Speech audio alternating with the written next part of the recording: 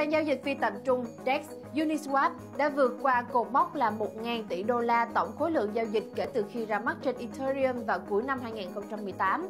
Uniswap đã đạt hai cột mốc quan trọng trong tháng này. Một là DEX đứng đầu về khối lượng giao dịch với 1.000 tỷ đô la, đồng thời cũng đạt được con số ấn tượng là 3,9 triệu người dùng. Đáng chú ý là DEX này đã vượt qua một số ông lớn trong lĩnh vực tiền điện tử như Crypto.com và Kraken với chỉ lần lượt là 724,9 triệu đô la và 597,4 triệu đô la. Tuy nhiên, điều đó lại đến từ một lượng người dùng tương đối nhỏ, cho thấy có rất nhiều tiềm năng phát triển trong tương lai. Theo dữ liệu từ Uniswap Plus, số lượng địa chỉ tích lũy của sàn này đã đạt khoảng 3,9 sau hơn 3 năm. Uniswap hiện đang được hỗ trợ trên Ethereum và các giải pháp mở rộng Layer 2, Polygon, Optimism và Arbitrum.